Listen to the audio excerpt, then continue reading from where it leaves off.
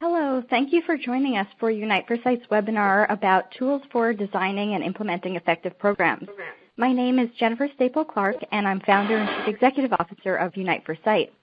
I'll briefly introduce you to Unite for Sight, review the webinar logistics, and then we'll hear from our six expert panelists. Unite for Sight is a global health nonprofit organization that promotes high quality care for all, and we offer extensive global health and social entrepreneurship education programs. Our Global Health University program, for example, offers this free webinar series, including today's webinar, and we additionally offer 20 online certificate programs for students and professionals, and many students receive academic credit for completion of our certificates through their own university. The certificate topics range from a certificate in global health and a certificate in global health research to a certificate in social entrepreneurship. We have another webinar coming up next Thursday as well during February about strategies for responsible global health engagement. And we'll have other webinars during the spring as well. And we encourage you to register for these free upcoming webinars at uniteforsight.org slash webinars. Additional educational opportunities for students and professionals include participation in Unite for Sight's annual Global Health and Social Entrepreneurship events, which focus on responsible global engagement. Our 12th annual Global Health and Innovation Conference, which is the world's largest global health and social entrepreneurship conference, is coming up on March 28th and 29th, 2015 at Yale University.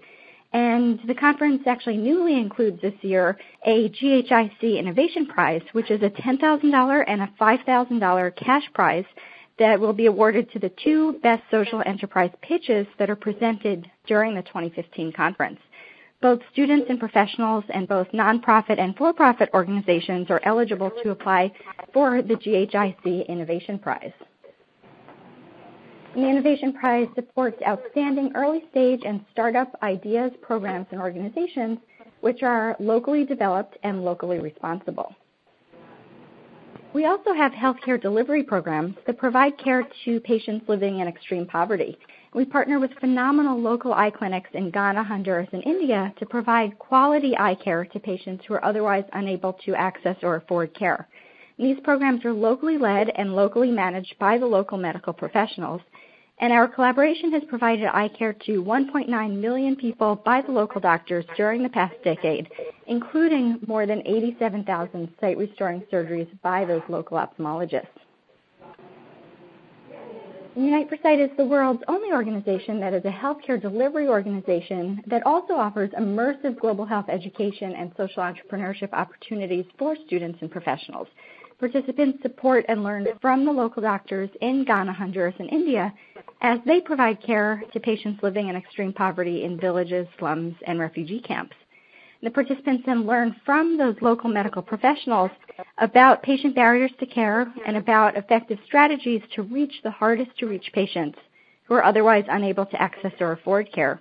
And the local doctors are incredible social entrepreneurs who design effective and innovative strategies to eliminate patient barriers to care. Now I'll describe the basic logistics of this webinar, and we're so delighted to have all of you with us today. We have six incredible panelists, and they have a wealth of expertise to share with you during this next hour. Each panelist will start by giving a two-minute introduction about themselves, their current role, and their key piece of guidance about designing and implementing effective programs. And then we'll dedicate the remaining time to your questions and answers. We received many stellar questions already submitted from you, our audience, by Tuesday's question submission deadline. And we selected the most common and most thoughtful questions to ask our panelists. We also invite you today to submit additional questions in the text box on the left of your webinar screen and then we'll select those questions to ask the panelists today as well. We also encourage you to tweet about the webinar, including your key lessons learned by using the hashtag GHUWebinar, and you can see that hashtag uh, in the webinar visuals on your screen. We'll proceed now with having our panelists introduce themselves in alphabetical order. I'm delighted to introduce you to our first panelist, Julie Anathan, Julie, please begin by introducing yourself, your background and current role, and please share your key guidance about designing and implementing effective programs. Hi, Jennifer. Uh, thank you so much for inviting me to participate uh, in this wonderful webinar. So yes, my name is Julie Anathan. Um, I am the Deputy Chief Nursing Officer for Seed Global Health. Uh, we are an NGO that's based out of Boston. We strive to improve the health education and delivery in places facing a dire shortage of health professionals by working with in-country partners to meet their long-term healthcare human resource needs. Our signature program, the Global Health Service Partnership, GHSP, is a unique public-private partnership between Seed Global Health, the U.S. Peace Corps, and PEPFAR. In collaboration with our host country governments and training institutions, GHSP sends U.S. physicians, nurses, midwives, as volunteer educators for one year to medical and nursing schools in Malawi, Tanzania, and Uganda. Seed Global Health raises and offers $30,000 in debt repayment to each volunteer to help, help offset financial barriers such as medical and nursing school loans that may prevent them from service. We have just completed our third recruitment season and are in the process now of matching our applicants with the expertise and the needs identified by our partner medical and nursing institutions. So as I've mentioned, uh, my background is in nursing. Um, I felt compelled to work in global health and global health nursing specifically after traveling abroad and witnessing the challenges that nurses faced within limited resource environments. I was a nurse for many years before I pursued my MPH at Boston University, and this really opened the door to where I am now. In terms of lessons learned, um, I really believe that, that the partnerships, uh, collaboration, and especially listening are key to long-term success before making any decisions, we really need to understand the implications for our partners and bring them to the table and listen. And I also want to remind us all that nurses make up 60 to 80 percent of the healthcare workforce and provide up to 90 percent of healthcare services. Effective programs in global health are those that include nurses in their designing and their implementation process. Thank you. Wonderful. Thank you so much. Thank you, Julie. And Dean Cycon, if you can also please introduce yourself. Certainly. My name is Dean Cycon. I'm the founder and CEO of Dean's Beans Organic Coffee, a for-profit coffee importer and roaster here in Massachusetts. I started Dean's Beans 21 years ago because I was unsatisfied with the structure of um, non-government organizations, development organizations in the coffee lands around the world. My background is I'm an indigenous rights and environmental lawyer and a business lawyer, so I had a wide spread of uh, background to create a business. I started, uh, I'm the co-founder of Coffee Kids, the first nonprofit organization in coffee, and after six years of Coffee Kids, uh, although I was still involved with it, I realized that nothing was really changing on the local level. And until businesses change their fundamental operating principles in, in sourcing in the developing South, um, nothing was going to change for all the good work we were doing. So I created Dean's Beans as a vehicle, using coffee as a vehicle for social, economic, and environmental change at the global South source using the business itself as the vehicle, and we're the only company that does that.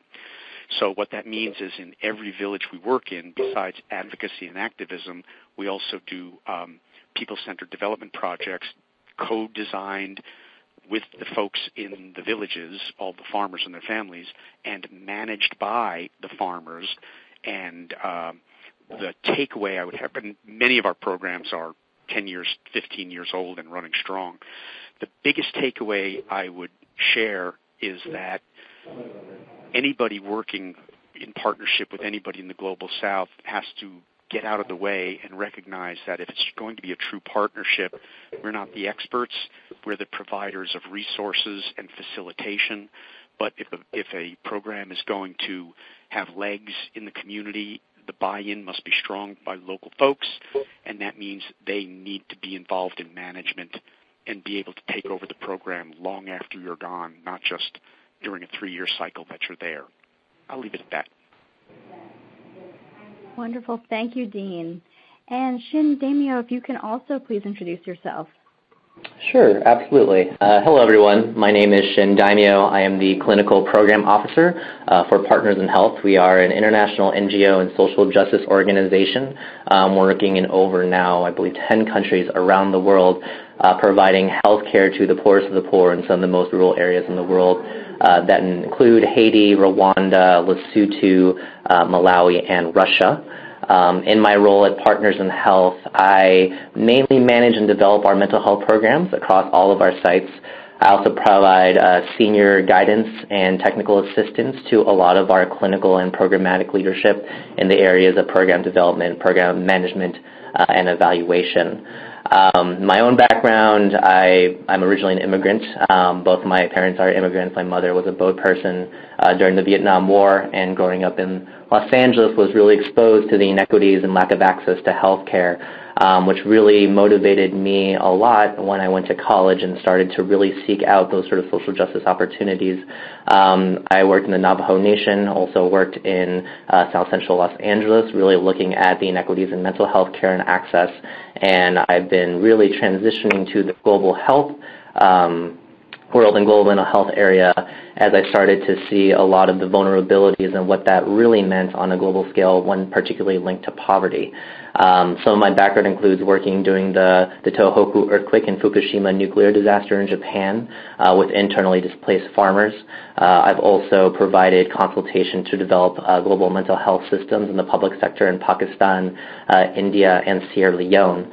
Um, and the key piece of guidance that I would give, again, really relates to a very strong relationship with the public sector and really being able to define local needs through the very mouths of those who are there. So really echoing uh, what Dean was saying, really taking the expertise, really taking the priorities um, from a lot of our local partners and have them drive the conversation as to what really needs to happen, um, and having a very strong focus on local capacity building, both in the short term and the long term for any program that you're really implementing. Mm-hmm. Excellent. Thank you so much, Shin. And Rachel Glennerster, if you could also please introduce yourself. Hi, I'm Rachel Glennerster. I'm Executive Director of the Abdul Latif Jameel Poverty Action Lab at MIT, or known as J-PAL. Uh, we are a network of over 100 researchers doing randomized trials uh, looking at social outcomes, uh, so in health, but also governance and women's empowerment and all sorts of different issues. Um, and uh, so I personally have worked a lot in Sierra Leone. I'm doing work in in uh, Pakistan and Bangladesh at the moment as well, and I've worked in India. Uh, in terms of advice, I um, a lot of people have talked about the importance of working closely with local partners, and uh, and I think that's absolutely critical. But as other people have talked about it, I will focus on another aspect, which is you know, don't reinvent the wheel and learn from the evidence around you. And that evidence comes in many forms, including the conversations with local partners, but also, uh, you know, other more quantitative evidence.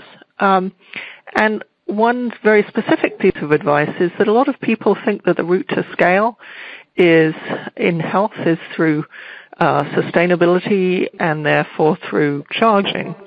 And I caution that that often actually undermines a lot of preventative healthcare programs because even very small costs can really deter people uh, from participating. And if you want to reach scale, sometimes finding alternative methods um, to to produce uh, preventative healthcare that's free and easily accessible is actually a better way to scale. So it sounds counterintuitive, but that's come out of a lot of our work. Excellent. Thank you, Rachel. And Laura Herman, please introduce yourself as well. Sure. Hi, everyone. It's Laura Herman. I'm with FSG. Um, we are a social enterprise, and we work with a range of actors across the social sector to really reimagine social change. So we work with corporations, foundations, nonprofits, um, we think about our own impact both through our consulting work and also as field builders. So we also try to identify big patterns in our work and write about them and make them accessible to the field more broadly. Years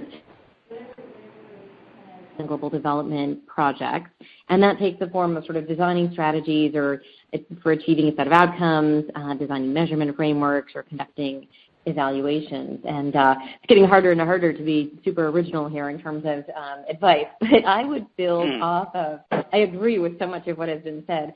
And just to build off of Rachel's comment, you know, I think um, taking the time up front to really invest in research and outreach to ensure a strong strategic underpinning for any program um, is very, very critical, and I'll talk more about dimensions of that. But I think it is an investment, um, one that is sometimes hard to make, but both to ensure um, the important partnerships that are, are eager and ready to go with you, as Julie mentioned, and others.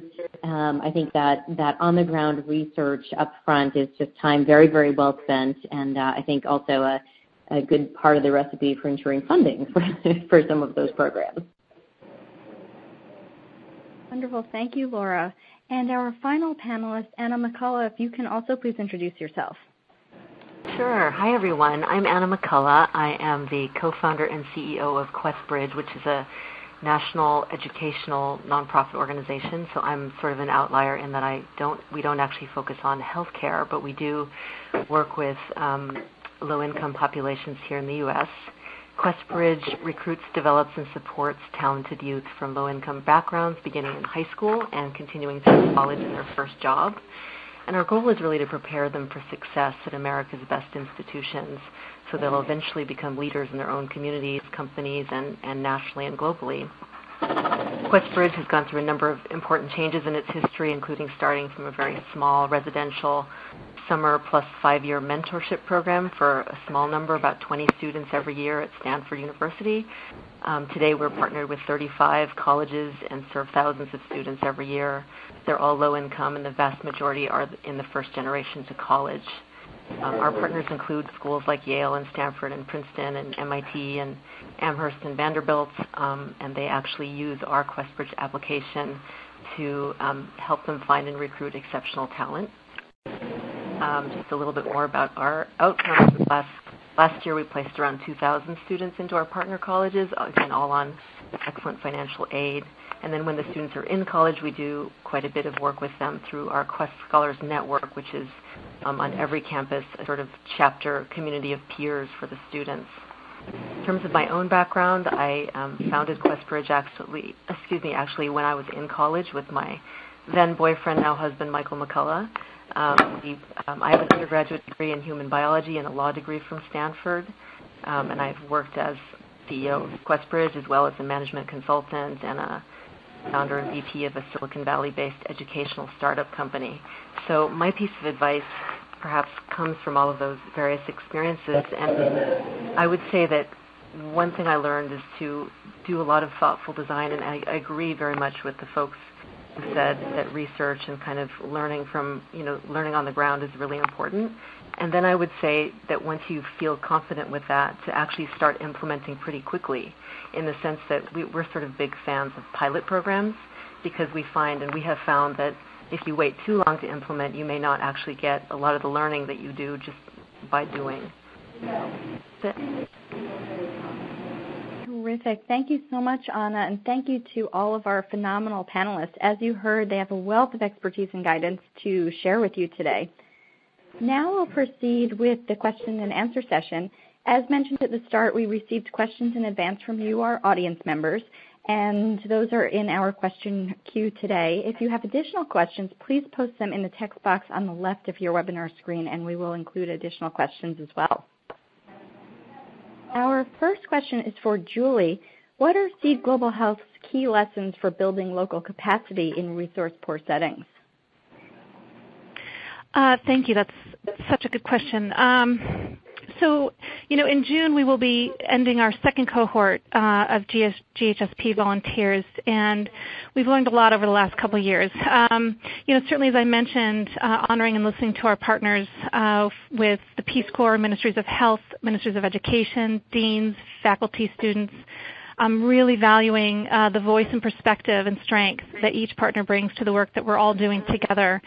Um, uh, without really asking our partner institutions, for example, what their needs are for the following academic year, we may end up sending them the wrong volunteer who holds the clinical expertise that they can't utilize. Um, and that really frustrates everyone involved um, and stagnates any potential capacity building.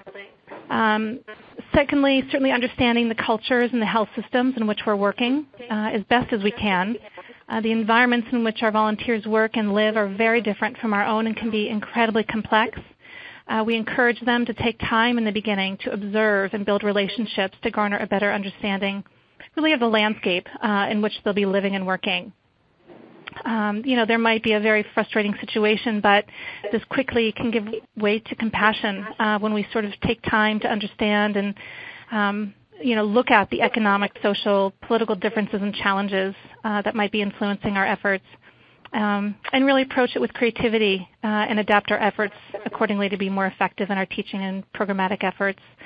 Um, and um, last but not least, probably uh, you know certainly the long-term commitment. Uh, we feel strongly that our commitment to the academic sites gets stronger over time, and this is essential to relationship building and growing capacity the difference between the first year and second year at our sites was remarkable. Uh, while we had incredible success the first year, we had 30 volunteers uh, training, I think over 2,800 trainees, teaching 85 courses. Uh, during the second year, our 44 volunteers have had a much easier time integrating into their sites, and the training institutions really seem to have um, been able to utilize the volunteers much more effectively. Uh, so we're really excited to evaluate the outcomes for this year uh, to see what seems to have been made possible through a continued co- commitment uh, and a continued partnership. And over a long-term commitment, additionally, this allows us to monitor and evaluate the outcomes of the program, as well as the voice and opinions of our partners. So those are three key lessons. Excellent. Thank you, Julie. And Ana, how does an organization best transition, best transition from the design phase to the funding and implementation stage? Yeah, so um, I sort of alluded to this a little bit earlier, but I am generally a fan of, you know, once you once you think you have a solid theory of change and a, a kind of a point of view and a thesis about what you'd like to do, I really believe that getting started as soon as possible um, makes a lot of sense. So obviously you have to research enough to be responsible and to make sure that you're serving your population. But there's so many things about implementation that you only learn when you're implementing. So, um, you know, QuestBridge is actually over 20 years old now, and um, we made plenty of mistakes um, through through the process of growing. And we actually, at the beginning, were a very different program, as I mentioned earlier. So we we the model that we have today was is very much sort of an iteration and, and a bunch of pivots uh, from the starting point that we um, from when we when we first began. And so I think that um, well, at the when we first began, we had the belief that there were thousands of students in America who actually were bright enough and had had the right um, kind of academic and personal qualifications to do well in our best colleges in the in the country. Um, we started with a very small model um, that was really different. And so um, as we built and grew that model, we realized over time that QuestBridge, the current model, was the way we could scale. But we never started our little program thinking we were going to be QuestBridge today. So I would say, you know, the sooner you can start to, to get your feet wet and start making mistakes, um, learning and iterating and you know, we had a lot of failures before we hit our successful model. Um, so kind of learn by doing, basically. Terrific. Thank you, Ana. And Dean, if you could start over with transitioning from concept to successful enterprise, what would you now do differently based on your lessons learned? Uh, I wish that I thought that was going to be the third question, but we'll we'll jump right into that because um, you asked. Yeah, I I think that um, I think that it's interesting to hear Ana talk about the evolution of model because you know when I started doing business as a vehicle itself for social change, and basically the Boston Globe called us a, a miniature development organization because of the way we work. Um, I think I wish I had brought more people on earlier um, as resources allowed. I think I think we we jealously guarded um, this precious thing that we had, and that didn't allow us to um, to grow. I, I'm, I'm not interested in growth per se, but it didn't allow us to grow as an organization enough to have a deep enough staff to um, to manage everything that came our way over the over the following years. And I'm still in that situation now, and it's very very difficult for me to find really good folks who um, not only have talent to do uh, various forms of development work from women's you know, overseeing it from from from women's empowerment to over, men overcoming gender violence to loan funds to wells all the things we're involved in.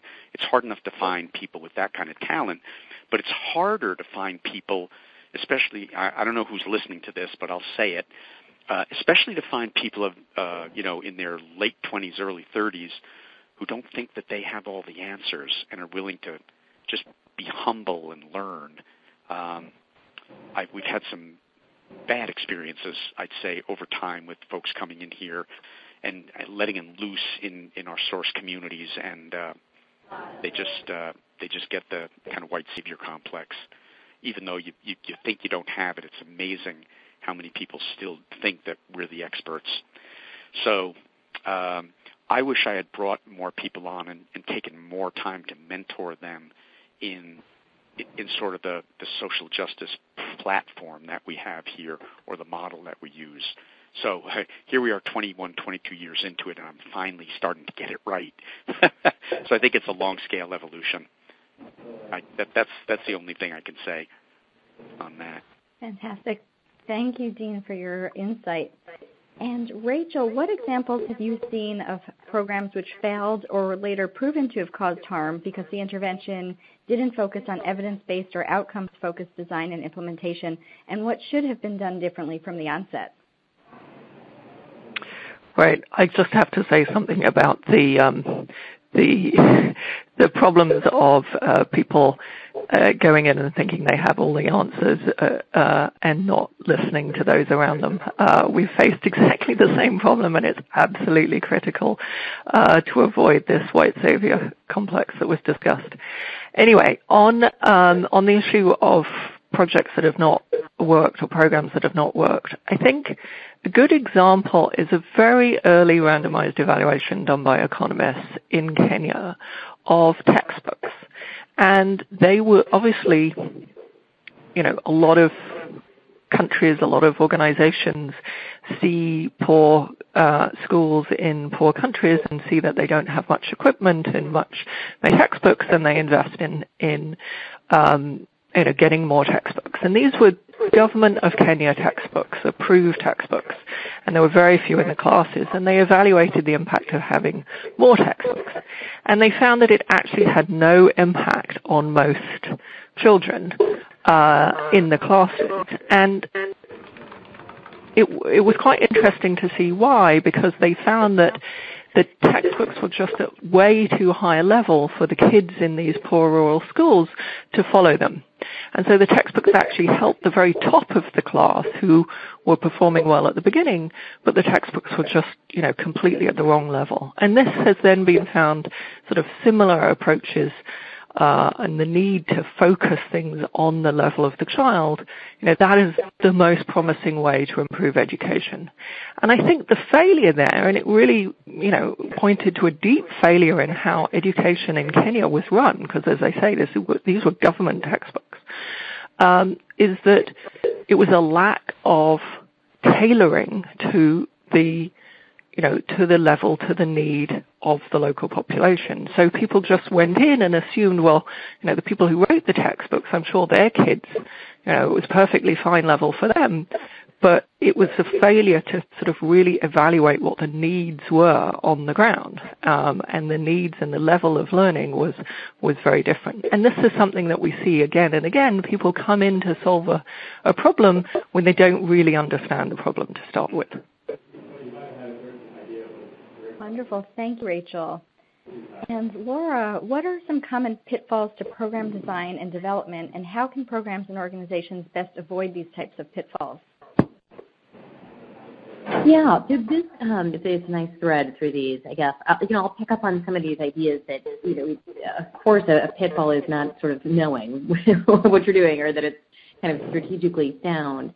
And I think there are, um, even if you sort of do the research, I think, so assuming uh, the time is spent and, and the research is done and the partners have been consulted and, and all of the things that others have already mentioned, I think at the end of the day, a lot of the problems folks are trying to solve are very complex.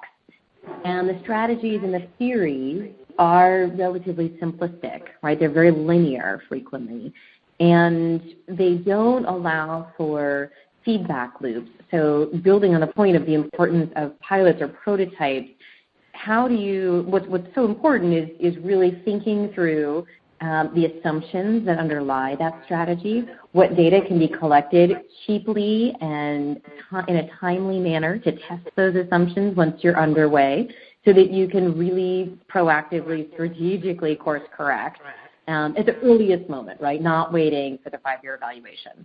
And so, so certainly, you know, one way I think that um, programs, you know, can mm-hmm. be especially these complex ones and anything new, right, is that they, they really build in some systems um, and feedback loops for learning along the way. Another, a second um, common pitfall, I think, is sort of assuming you can work in isolation. I mean, the textbook example is a great one, right? And, and you know, where, you, where the problems are complex, typically we see the, greatest promise of impact coming from deep collaborative work. And certainly we're known for our collective impact framework as one approach to collaborative work. There are many um, that are effective. And I think really being willing to enter into uh, that messy process and working, and again, it's in very, you know, sort of deep ways on a shared strategy for um, achieving a set of goals and a set of metrics that will be tracked across the partners along the way, figuring out what is the, the sort of set of activities that all need to be combined uh, to potentially bring about that change, determining the best ways for those groups to communicate and work with each other, and then ideally having someone dedicated to the facilitation of that effort. Um, you know, are kind of the five five pieces of, of our framework that we've, we've seen some success with. But I think it is a common pitfall to think there's, you know, kind of these, these big complex problems um, can really be solved with a lot of isolated action. Isolated action certainly can drive um, some degree of impact. Uh, but you know, I, I really hear people in the field, you know, frustrated that we aren't seeing the impact coming more quickly uh, or at scale. And um, certainly, our experience in working with collaborative efforts would suggest that's one way uh, to perhaps avoid mistakes from the past. Fantastic. Thank you so much, Laura. And Ana, when looking to scale up a program, how do you demonstrate a proof of concept to prospective new collaborators or partners? For example, what strategies enable you to develop long-term partnerships with 35 colleges? Yeah, um, great, great question. And this this does sort of connect to the piece that I was describing earlier. We were we were really as an organization because we had 12 years of running our original model, which was, a, like I said, a small residential summer program. We worked really closely with the students, and it was a small number. And so, but we, because um, of the success of the model, 80% or so of our students got into tremendous colleges. Actually, 100% of them got into great colleges, uh, but around 80% of them ended up going to, you know, um, the top five or something like that. And um, we had thousands of applicants already who applied to our little program.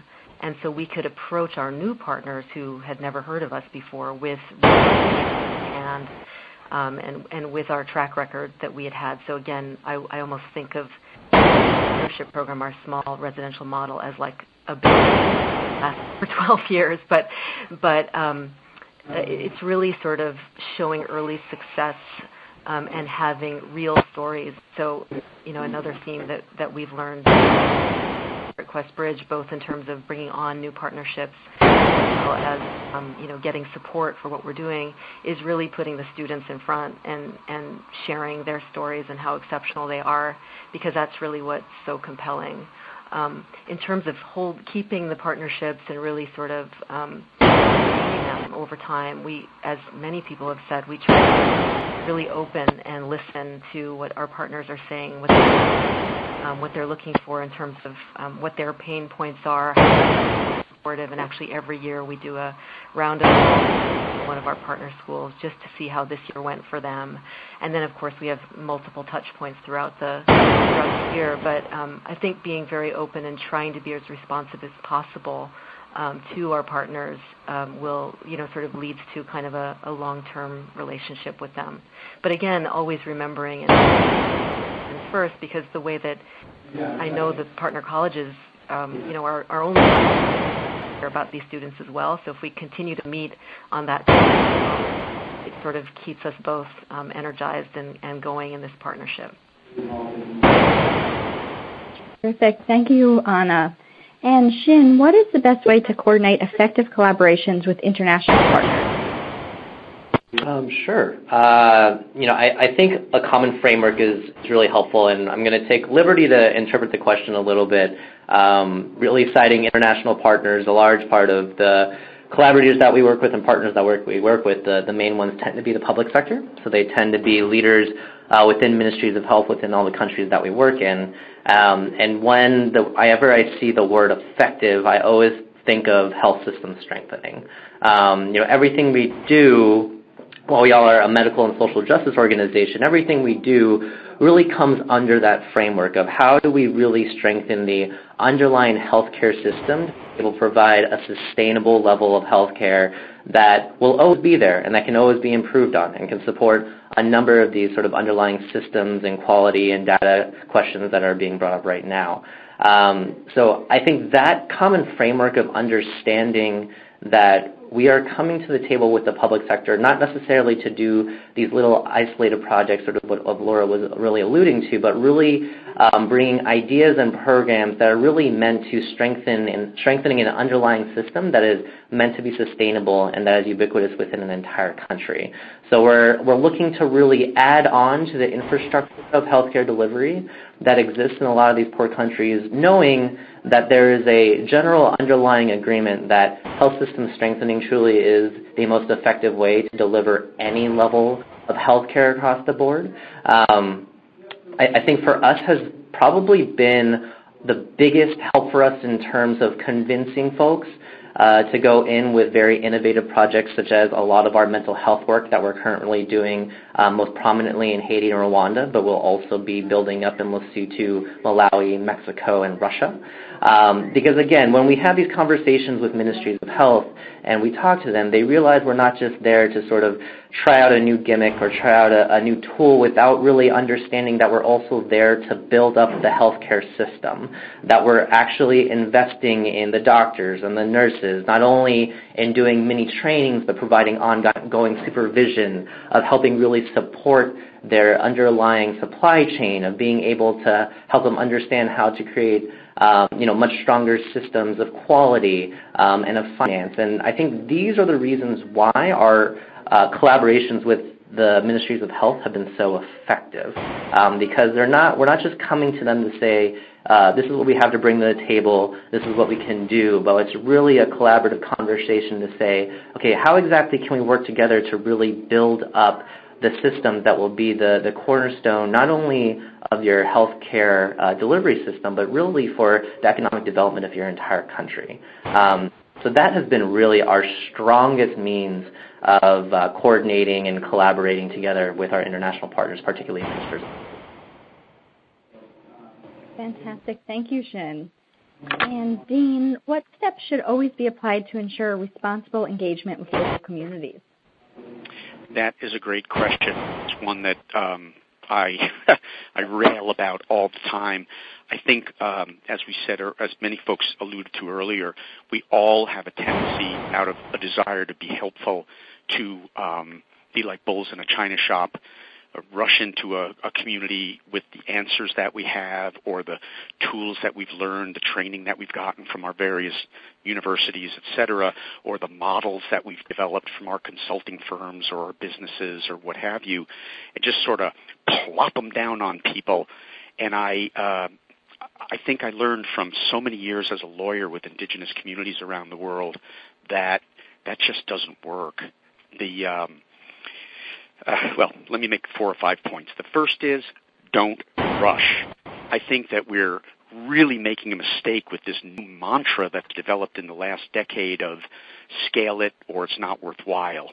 I just totally disagree with that kind of Stanford mantra. Um, if you help 20 people or 2,000 people, are you a better person? What's the difference? You know, it's effectiveness and integrity and intentionality, not how many people participate. I really disagree with that. In any event, don't rush. I think the rush to scale is probably the most destructive force in uh, social enterprise, whether it's for health or anything else. And if you look in the, the graveyard of, of dead and discarded development programs, which equal probably about 95% of them out there in history, that may be one of the biggest reasons for uh, lack of effectiveness. So don't rush. Scale can come later. I, my my belief is ecological. If you do good work, growth will come. If growth is a goal, people cut corners, they cut quality, they cut salaries, whatever they got to do to meet that growth metric. I think that's an ass backwards way of doing any kind of work, whether it's development, activism, or family building. Um, secondly, radical transparency. I believe that if you, it's really essential to build up trust with folks in communities you're trying to work in and that can only be accomplished if, if people really know who you are, know what you're doing, understand what you're doing. Otherwise, the rumor mill grows. People make all sorts of assumptions about you, and and it kicks into all sorts of pre-existing hierarchies and oppressions that go on in many of the communities in the world. And so, unless you're really clear and really transparent about who you are, what funding you're bringing in, what your expectations are, um, it can cause a lot of problems. So I'll throw that one in there. Radical transparency. Um, be careful about promising.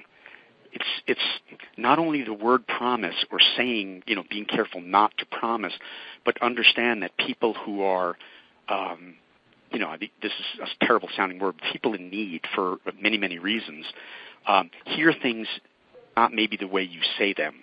So if you come in and you're looking at setting up a health program, pretty much everything you say is considered a promise. So I think you have to be very, very conscious on the, the commitments you make when you're, when you're, especially when you're trying to design a program in a community. Our programs generally take a year plus to design with the community because it's so essential to develop that trust, to understand the dynamics of the communities you're in, which for us is exclusively indigenous communities in Asia, Africa, and Latin America, and um, to set up that program in, in, in a way that's got a lot of integrity and, and people can rely on it. I could talk for a long time, but I'm going to stop right there so other people can jump in and we can get back to all these points later. Sure. Thank you, Dean. That's terrific. And Julie, what training and competencies do you find to be most important to ensure that visiting medical professionals engage effectively and responsibly with local healthcare systems? So, so that's a, a great question. We just finished our recruitment season for the third cohort of GHSP volunteers, so your this question is very timely and certainly on the top of my head. Um, first of all, we, we look at uh, four or five key pieces uh, when looking at um, uh, a, a, successful candidate. First of all, we're looking at uh, what is their clinical expertise. Um, is it a solid expertise, and is it relevant uh, to the needs of our uh, academic institutions with which we partner? Um, uh, we also look at um, the ability to be effective um, uh, and expert educators, both in the classroom and the clinical setting. Um, our nursing volunteers, in particular, are teaching in bachelor's, master's, and even PhD programs in these countries. And these institutions are really looking for experts in teaching and curriculum development. Um, most of our successful applicants have uh, a master's degree, and we've had several successful PhD applicants to really meet the needs um, of these growing nursing institutions. Um, and thirdly, um, and this addresses some of the, the, the, sort of challenges that other people have addressed, is a background in global health um, um experience. Um, the nurses and doctors who don't have solid experience working in limited resource settings developing cultural competence uh, will quickly become overwhelmed and may inadvertently upset those with whom they are working. Um, many of our successful applicants are returned Peace Corps volunteers. Um, their two-year experience really lends beautifully um, to this program. Um, so really looking to prevent that white savior um, sort of um, we can fix everything and change everything uh, perspective. Uh, it's having that global health experience, learning the lessons on the ground uh, is really, really essential um, to a successful um, um, engagement. Um, just two more pieces. First, uh, flexibility. Uh, certain, absolutely, um, things do not go as well as anticipated. Um, they need to be able to roll with the punches. Um, and the nurses and doctors working in these environments need to be okay with that. They need to be able to roll with the punches, um, adapt, and, and thrive uh, in these situations. And lastly, really is just uh, very simply a readiness and excitement uh, to engage and learn and partner um, with their colleagues on the ground. So those are the key um, key pieces there. Terrific. Thank you, Julie. And Rachel, how can small organizations and programs incorporate data collection and analysis into their daily work in order to assess effectiveness? Right. And this, I think it's important to fit uh, what you can do uh, to, you know, w- what's most effective for you as an organization. So what might be the right approach for a big, well-funded NGO is not what a small group should be doing. So you have to think about, you know, what's your capacity and what can you what can you collect that's going to be useful uh, at a reasonable cost. So we do randomized trials. We certainly don't say that everybody should do a randomized trial. So ha- a trial you have to do, you know, you have to do it well for to make that worthwhile. But there's usually some key pieces of information um, which you should be collecting and can collect, and is going to be part of that feedback loop that we've been talking about. So let me give you some, you know, really basic examples take up is something which a lot of uh, is absolutely critical to to many organizations. There's you know little point in doing doing a program or doing a social entrepreneurship um, activity if nobody buys the product or if nobody comes to the training or you know.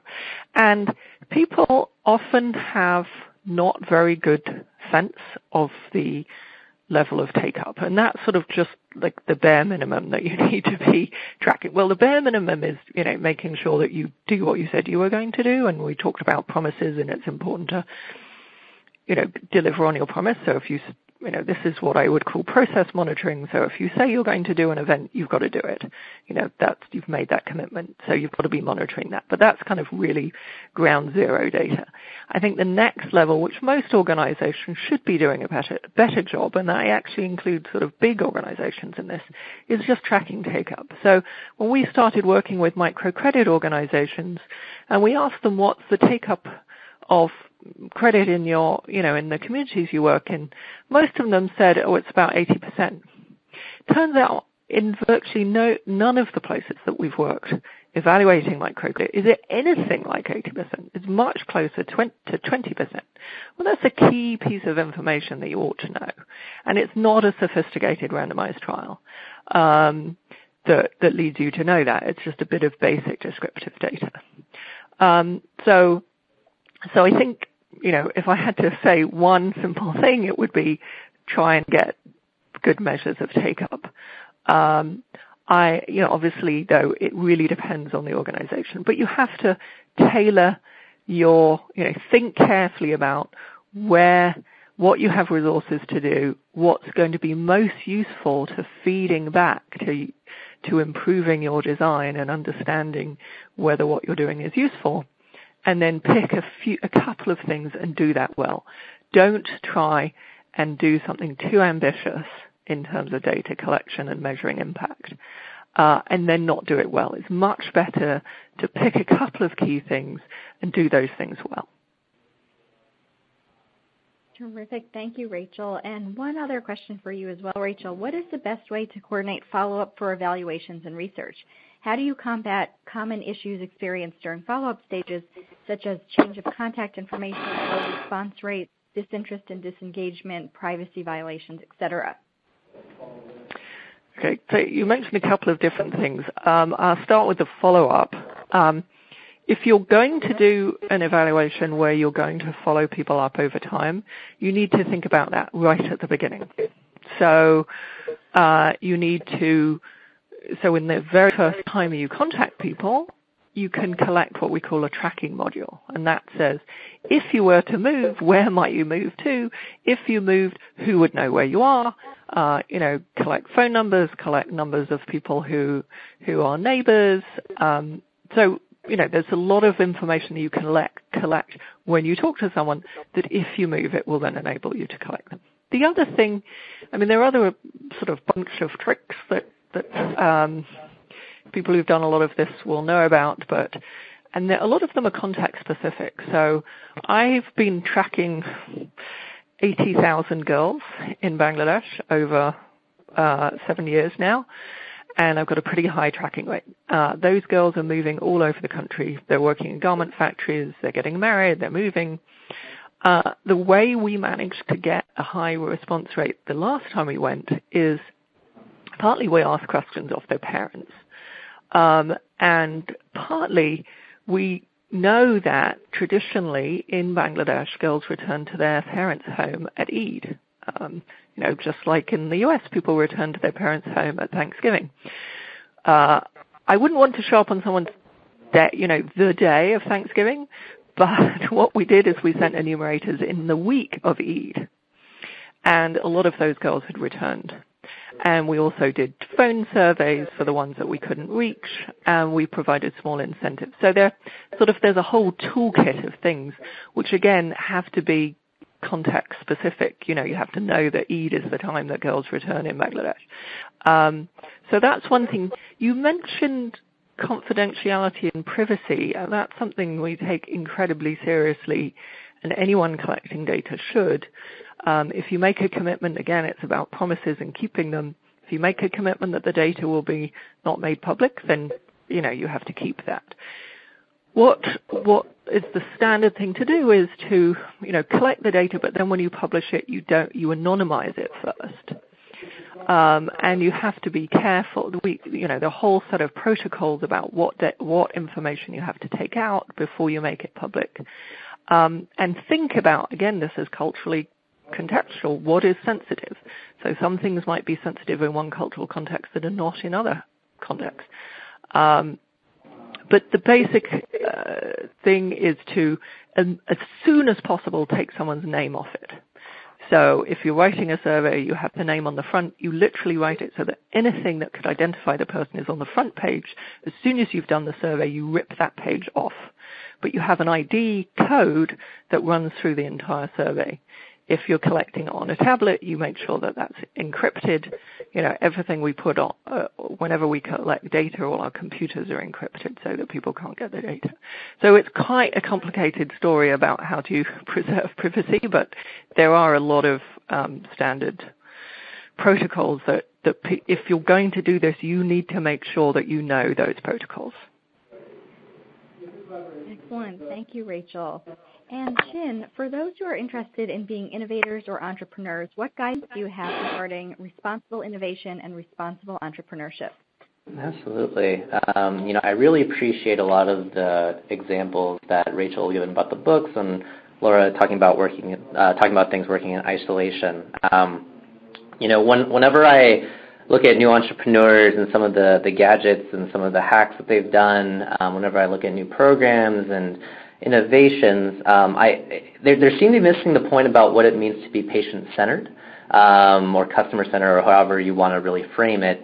Um, but this idea for me of being patient-centered really goes down to the fact that if you were a sick patient um, and you ideally knew everything there was to know about healthcare delivery, if you knew uh, had all the education, knew all the ins and outs, knew all the various providers, and, and what it really took for you to get health care however you wanted it, whenever you wanted it, wherever you wanted it, um, what would that actually look like? What would the patient want? And for me, that's patient-centered. Um, patient-centered isn't just about having an outcome to say, at this one point in time, a patient is better. Um, it's not at one point in time to say, oh, well, we've, we've trained X number of physicians or X number of nurses to be able to provide depression care. Um, that's really a, a small piece of the pie and a small piece of the puzzle that is sort of severely limiting and speaks to a, a very sort of siloed and one-sided view of, of how we do global health, how we do global development generally. Um, so for me, when I, when I think about responsible um, innovation, responsible entrepreneurship, it really, for me, comes down to this ideal of, of what it means to be patient-centered. Um, so just, just to give an example, when we do a lot of our work um, at Partners in Health uh, with mental health, particularly in places like Haiti and Rwanda. Um, you know, we're, we're obviously asking a lot of questions about making sure that we're engaging with various stakeholders, various clinicians, um, local leaders, patients, etc.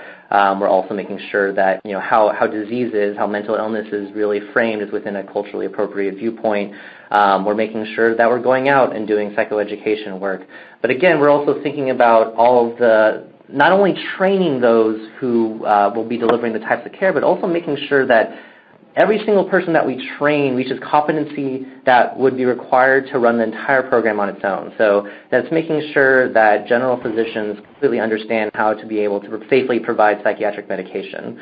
Um, that's making sure that there's a, a fully staff program manager there that knows the ins and outs of finance and program management and person management um, and crisis management and being able to deal with day-to-day operational issues that may go outside the bounds of the log frame. Um, that's making sure that we have community nurses that are very connected to community health workers, knowing that they understand what it means to appropriately compensate community health workers based off of their performance, and also helping community health workers understand what it means to be uh, an appropriate um, mental health provider within the community. So when we, when we think about, again, and I speak back to the systems framework and this health systems approach, we're not just thinking about disease, we're not just thinking about training, we're not just thinking about evaluation, um, but we are thinking about how we contextualize outcomes and how we are contextualizing systems. And that how we really define ourselves, how we define successful, responsible innovation and entrepreneurship is really looking towards some of the root causes of illness, really looking at the root causes of what causes system failures and really thinking about sustainability in the long term once a research project is over, once a grant is done. When there are no more resources left, or do we still have the underlying system in place to be able to ensure that all the outcomes, all the measures that we promised, and really at the very beginning of the talk to be able to understand, you know, what does it truly mean to be able to provide someone uh, like a long-lasting good health across the, the spectrum of their life, um, this is how we're thinking about things. So when I think about responsible innovation and entrepreneurship, that's what I think about. Is really thinking about the, the true definition of patient-centeredness, how we can do that both in the short and long term. Wonderful. Thank you, Shin. And Laura, there are many unique and innovative ideas that are constantly being pitched and at times developed into programs. What is the best way to ensure from the onset that an idea can develop into an effective outcomes-based program? Yeah, it's a, it's a great question, and uh, I know we're nearly at the top of the hour, but uh, you know, at the risk of um, at the risk of stating the obvious, I mean, I think funding is a big one, right? We haven't talked much about that, um, and I think you know, funding buys a lot of flexibility, right? And so ensuring that work that you know you want to undertake sort of fits within a broader framework of priorities of funders, whether they're um, the, the governments, the government funders in the countries you're working, or whether they're the bilateral funders who are working from those local missions. Um, I think you know there are just a lot of um, a lot of benefits. Obviously, it's how you get the right team, right? So you can make sure that you've got folks with the right sensitivities, the right experiences. It's what allows you to make mistakes and course correct um, and not be out of business. And you know, obviously, it's a signal and endorsement of the expertise of the funders that might be supporting you um, as another layer of advisors, perhaps. Um, so uh, we haven't we haven't talked about that yet, but certainly that's that's one of the big things for for, for getting from kind of a conceptual and innovation stage up to um, you know any kind of program that's achieving a degree of impact, and then you know if scale is in the equation, you know being able to go from there.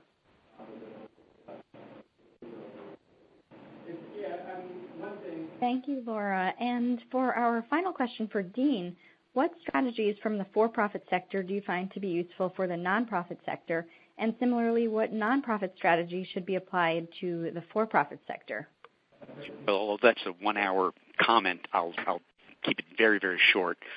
Um, the most effective for, for, for-profit strategy or concern is efficiency efficiency not only of your operation uh, of your project, but efficiency of your organization. I find that um, so many organizations are so bloated um, with personnel they don't need or salaries that are off the charts. It's hard for me to. I was once offered a, an ungodly amount of money to run a, a refugee camp in Chiapas, and I, I turned it down because they were just it was the UN and they were just offering too much money and too many benefits. I find that reprehensible. So efficiency is really, really important, um, and it makes a little money go a long way.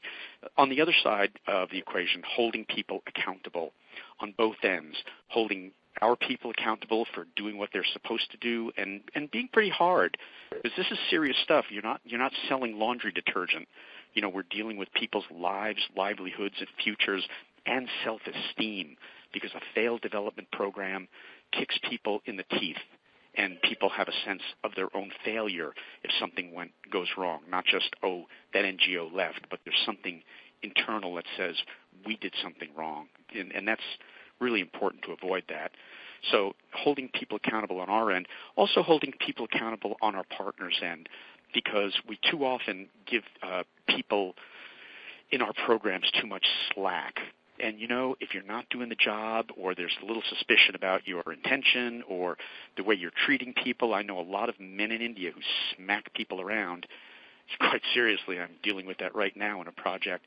Um, it's just not acceptable, and people have to be held to a standard on both sides. You, people don't get a buy because they're poor, you know, or because they're well intentioned. I think it's really important to hold ourselves and our partners uh, accountable. I'll leave it at that. Terrific. Thank you, Dean. And thank you so much to all of our phenomenal panelists today and for all of the insight and expertise that you've shared with the audience. This now concludes today's webinar. Thank you.